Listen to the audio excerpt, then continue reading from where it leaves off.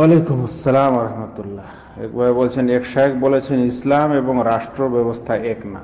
প্রশ্ন হচ্ছে, রাষ্ট্রে যদি ইসলাম না থাকে, তাহলে চোর, ডাকাত, বদমাইশ, জেনাখর, নেশাখর ইত্যাদি এদের শরিয়া মোতাবেক শাস্তি দিবে কে?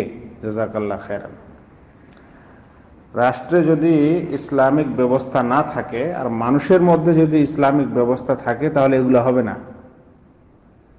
যেভাবে প্রশ্ন করছেন, তাকে একটু বুঝার আবেদন করছি যে যদি রাষ্ট্রে ইসলাম রাষ্ট্রে ইসলামিক ক্ষমতা নাও থাকে মানে ইসলাম, রাষ্ট্রটা যদি ইসলামিক আইন অনুযায়ী না চলে, আর প্রত্যেক ব্যক্তি যদি নিজেকে ইসলামিক আইনের আওতায় নিয়ে আসে, তাহলে এগুলার শাস্তির দরকার হবে না।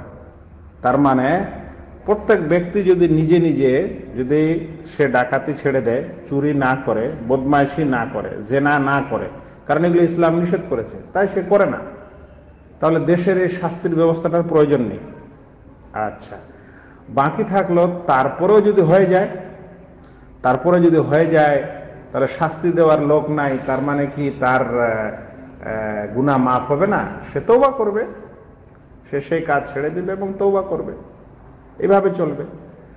আচ্ছা বাকি থাকল ইসলামের সব কিছু কি এটার উপর নির্ভর করে? এই শাস্তিগুলোর উপর? ইসলামে একটা আছে ব্যক্তি জীবন, পারিবারিক জীবন, সামাজিক জীবন, রাষ্ট্রীয় জীবন। আমি একটু আগে বললাম, ব্যক্তি জীবনে যদি আমরা সকলে ভালো হয়ে যাই, তাহলে এটা কেউ জেনা করবে না। প্রয়োজনই নেই এটা তখন। আচ্ছা এখন আমরা ব্যক্তি জীবনে ভালো না হয়ে রাষ্ট্রকে ভালো করার চেষ্টা করছি। এটা উল্টা পদ্ধতি। আল্লাহ রসুল সাল্লাম প্রথমে নিজে, তারপরে নিজের পরিবার, খাদিজা রদি আল্লাহ তালা আনহা, নিজের চাচাতো ভাই আলী রদি আল্লাহ তালা আনহ, আবু বকর সিদ্দিক রদি আল্লাহ তালা তাদেরকে দাওয়াত দিয়েছেন। এবং কু আনফুসাকুম আহলিকুম নার, আল্লাহ বলেছেন, তিনি তার সমাজকে প্রথমে দাওয়াত দিয়েছেন। এভাবে ধীরে ধীরে যখন সমাজের ব্যক্তিগুলো ব্যক্তিবর্গগুলো সব ভালো হয়ে গেল, তখন সমাজে ইসলামিক আইন এমনিতেই বা সহজভাবেই চলে আসলো। তাই তিনি ব্যক্তির ব্যক্তির সংশোধন এবং ব্যক্তির মধ্যে ইমান ও আকিদা ও আমলকে মজবুত করেছেন। এটাই ছিল তার মিশন। তারপরে তখন রাষ্ট্রীয় বিষয় আসে। এই কারণে তার মক্কার জীবনে কি কোনো রাষ্ট্রীয় ক্ষমতা বা রাষ্ট্রীয় এরকম আইন ছিল? ছিল না। তাহলে কীভাবে তারা মুসলিম ছিলেন? ঠিক এখনও এরকমই। যদি আমরা ব্যক্তি পর্যায়ের সব সবাই যদি আমরা ভালো মমিন এবং আমলকারী হয়ে যাই তাহলে আমাদের সমাজে ইনশাআল্লাহ হ্যাঁ, রাষ্ট্রীয়ভাবে ইসলাম এবং রাষ্ট্রীয় ইসলাম তৈরি হবে। কিন্তু মানুষকে শুধু এরকম বর্ণনা করা যে এর এগুলা করলে আমরা শাস্তি দিতে পারি এটাই কি আসল ইসলাম নাকি ভাই? ইসলামের মূল কাজ যে পাঁচটি আছে সেটার মধ্যে এগুলো পড়ে ক্রাইম কেস ইসলামের বিধানগুলির একাংশ হচ্ছে এটা।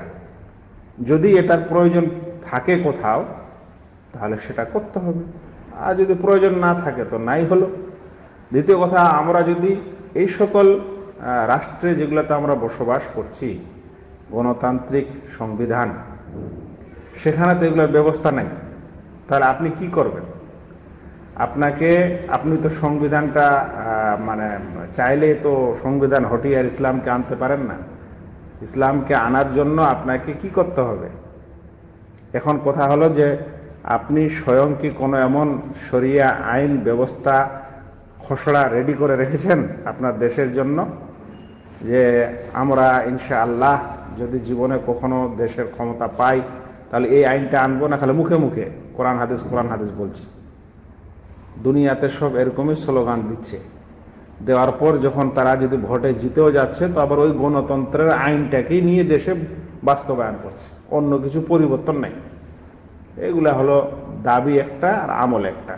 মোট কথা হলো এই যে প্রথমে ক্রাইমের শাস্তি দেওয়ার চাইতে নিজেকে ক্রাইম মুক্ত করার চেষ্টা করতে হবে।